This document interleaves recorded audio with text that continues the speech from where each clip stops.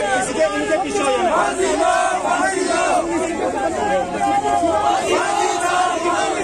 समय अगर बात करें तो जेके न्यूज़ ब्रेक इस समय जो कि श्री गुरु रविदास जो वेलफेयर एसोसिएशन युवा है, वो प्रोटेस्ट कर रही है यूपी में जिस तरह से मनीषा के साथ अत्याचार हुआ और उसे सिक्योरिटी प्रोवाइड नहीं करवाई गई। आइए बात करते हैं इन युवा का रोष क्या है। जी। देखिए, जो कुछ हमारी बहन मनीषा के साथ हुआ, वो बहुत ही शर्मनाक किस्सा था। उसी के लिए हम अपनी बहन मनीषा को इंसाफ दिलाने के लिए आज यहाँ आपको पता है कि पूरे भारतवर्ष में पूरे भारत में जो मनीषा के लिए सभी लोग खड़े हैं तो उसके लिए आज श्री गुरुदास वेलफेयर युवा संगठन की तरफ़ से राजौरी में भी बहन मनीषा को इंसाफ दिलाने के लिए जितने भी मेरे युवा भाई थे वो सड़कों पे उतरे हैं। जय भीम जय भारत। कहा जाए तो उसने एडमिनिस्ट्रेशन से जो खासकर यूपी एडमिनिस्ट्रेशन से जो उसने मांग की कि मुझे प्रोवाइड किए देखिए देखिए आपकी बात जो कुछ भी हुआ वो एक बहुत ही शर्मनाक किस्सा था और साथ में सबसे बड़ी लापरवाही वही वहाँ के प्रशासन की वहाँ के डीएम जिन्होंने रातों रात मनीषा का अंतिम संस्कार करवाया वो भी उसके माता पिता की बिना इजाज़त के वहाँ के एस पी ने एक बहुत ही बड़ी दर्दनाक हत्या की हुई है अगर बात की जाए जिस तरह से आपका युवा जो है इस समय मनीषा के हक में है कि वो उन्हें जो भी उनके अत्याचार जिन्होंने किया उनको फांसी की सजा होनी चाहिए। साथ ही हम अगर ये भी जब तक जब तक मनीषा को इंसाफ नहीं मिल सकता देश का हर एक देश का हर एक युवा सड़कों पे उतरेगा और मनीषा को इंसाफ दिले दिला के रहेगा। हमारा यही है जब तक मनीषा को मनीषा के कातिलों को फांसी नहीं मिलती हम हर रोज सड़कों पे उतरेंगे। जय भीम। जय सुदास जी हैं हमारे साथ, ये भी रोष प्रकट कर रहे हैं और खासकर देश की बेटी गई है। हाँ जी, देश की बेटी गई है और सबको जो है, इस पर जो है, बड़ा रोष प्रकट आ रहा है। क्योंकि अगर सरकारें बनती हैं तो वो बड़े बड़े पोस्टर लगाती हैं कि बेटी बचाओ, बेटी पढ़ाओ। तो क्या एक बेटी उस पर अत्याचार होता है और उसके बाद वो सिक्योरिटी मांगती है और उसे सिक्योरिटी प्रोवाइड नहीं की जाती? तो आइए मैं तो यही कहना चाहता हूँ सबसे बड़ी गलती इसमें सरकार की है। बहुत ही निकम्मी सरकार है। हम सब यूथ को एक होके इस सरकार को उखाड़ के फेंकना है और दिखाना है कि यूथ एक है। नारी का अत्याचार नहीं होगा। जब तक योगी सरकार अच्छा एक्शन नहीं लेगी, तब तक यूथ सड़कों पर रहेगा। इस सरकार को उखाड़ के फेंकेगा।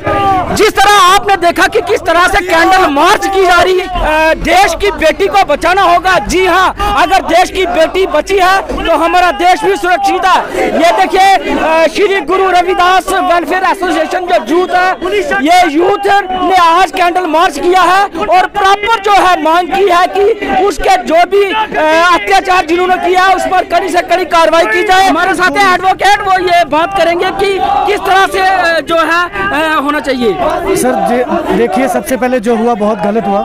वो एक समाज की बेटी नहीं थी, पूरे हमारे हिंदुस्तान की बेटी थी। तो कोर्ट जो है, अपने तरीके से करेगा, लेकिन हम यही चाहते हैं कि इंसाफ होना चाहिए, सर। गलत हो रहा है एक बेटी के साथ। पहले उसके साथ मर्डर हुआ, उसका गला दबाया, उसके सर्वाइकल में प्रॉब्लम की, उसके साथ रेप किया, चार हत्यारे हैं एक्यूज़ हैं। जो भी होगा हम यही चाहते हैं कि सर उसके माता पिता को इंसाफ हो। और सबसे पहले मैं यही चाहता हूँ कि मैं पूरे सरकारी जितने भी हमारे हिंदुस्तान की सरकारें उनसे रिक्वेस्ट करता हूँ कि ये रेप रोकना बड़ा ज़रूरी है सर। एक बहन हमारे भारत की बहन है सब बहनें माता पिताएँ माताएँ जो भी है एक बराबर होती हैं। तो यही है कि राइट फ्रॉम द बिगनिंग कानून तो बना हुआ है लेकिन एक दिमाग को अपनी मेंटेलिटी को सोच को बढ़ाना बहुत ज़रूरी है। क्या कहेंगे? सर इसमें मैं मैं आपको बताता हूँ कि जो हमारा हिंदुस्तान है वो शुरू से ही जो सरकार की तरफ़ से चीज़ रहती है, जो स्टैंडर्ड ऑफ़ लिविंग है, वो एक जैसा नहीं मिलता। वीमेन को मैन के हिसाब से अलग ट्रीट नहीं किया जाता सेम बराबर नहीं ट्रीट किया जाता। इसी वजह से मैं सोचता हूँ कि जो हमारी आज बहनें हैं, वो पीछे रह रही हैं लैक करती हैं, इसी वजह से। और बाकी रहा ये बेटी बचाओ तो सर, ये सिर्फ़ कागज़ पत्रों की बातें हैं, ये लोगों को गुमराह किया जा रहा है। जब एक इंसाफ की बात आती है, जब एक बहन की सेफ्टी की बात आती है तो सर, वो जो बेटी बचाओ है, वो सिर्फ़ कागजों में ही रह जाता है। आप कंगना मैम का देख लीजिए। सर नो डाउट उसको सिक्योरिटी सिक्योरिटी की ज़रूरत थी। लेकिन जो हमारी बहनें रात को भी घूम रही हैं, सर, उनको भी तो सिक्योरिटी होनी चाहिए और सबसे पहले इंसान की सोच बदलनी चाहिए। अगर आपके घर से सोच निकलेगी कि वो मेरी बहन है, मुझे उसको रात को घर तक ड्रॉप करना है, ये जिस दिन एक इंसान के दिमाग में सोच आगे आएगी तो उस दिन हमारे जो हिंदुस्तान में है रेप भी कम हो जाएँगे। और कानून तो है ही है, कानून तो अपना काम कर ही रहा है। स्ट्रिक्ट लॉज जो हैं, बहुत ज़्यादा अमेंड भी हो रहे हैं। तो यही है कि कुल मिला के बात ये है कि इंसाफ होना चाहिए सर, और इंसाफ तो होगा, टाइम पे होगा, लेकिन ये जो है कि ये इसको और से, मैं ये बोलता हूँ कि कुछ ऐसी लीगल अवेयरनेस करनी चाहिए, इस पर पैसा इन्वेस्ट करना चाहिए कि जो हमारी बहन है, बेटी है, हर एक मतलब हम ये भी नहीं कह सकते कि इसका जिम्मेवार इंसान ही है, मर्द ही है, ऐसा नहीं है। बहुत सारी चीज़ें होती है। तो यही है कि अवेयरनेस होना बड़ा ज़रूरी है। हर एक इंसान अगर अपनी एक औरत को बहन या बेटी के तरह देखेगा तो ये रेप खत्म होगा। और मुझे एक चीज़ का अफसोस है, मैं आपको बताना चाहता हूँ कि यहाँ हमारा ही समाज इकट्ठा हुआ, ये समाज की बात नहीं थी। ये हमारे हिंदुस्तान की बात थी। तो कहीं ना कहीं आप लोग ही हैं ना जो डिस्क्रिमिनेशन करते हैं। इन इक्वालिटी तो आप लोग ही ला रहे हैं। क्या आपका फ़र्ज़ नहीं बनता था कि सारे समाज को यहाँ आके एक छोटा सा, जैसे हमने पीसफुल प्रोटेस्ट किया, आप भी हमारे साथ आते तो प्रोटेस्ट करते? जिस तरह से आपने कहा कि एक देश की बेटी के साथ जो अत्याचार हुआ है, इसमें हमारे देश को एकजुट खड़ा होना चाहिए। इसमें जात, बलादरी वगैरह को एक साइड रखना चाहिए और बिना कास्ट के जो है, इस बात को आगे बढ़ाना चाहिए ताकि हमारी बेटियाँ बेटियाँ हैं तो देश है। बिल्कुल बिल्कुल। बेटी है तो देश बढ़ेगा, बेटी नहीं है तो देश तहस नहस हो जाएगा।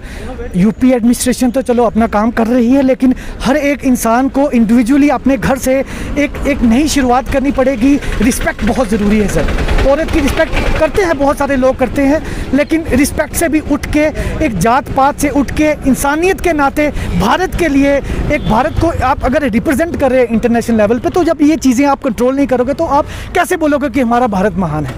जी, जिस तरह से हमारे साथ एडवोकेट जुड़े हुए थे जेके न्यूज़ ब्रेक की यही एक मंशा होती है कि वो आपको ग्राउंड लेवल की बातें बताए, लेकिन आज थोड़ा सा दुख प्रकट हुआ कि एक ही समाज ने जो है कैंडल मार्च किया और समाज जो है थोड़ा देखता रहा।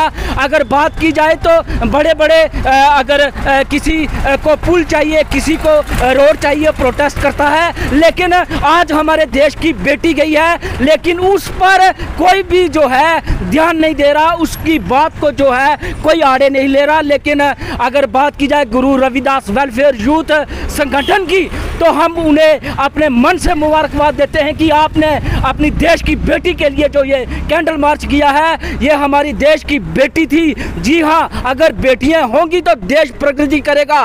पोस्टर लगाने से नहीं, पोस्टर लगाने से नहीं, उन्हें सुरक्षा प्रदान करने से ही हमारी बेटी बचेगी। Rakesh Sharma JK news break Rajouri.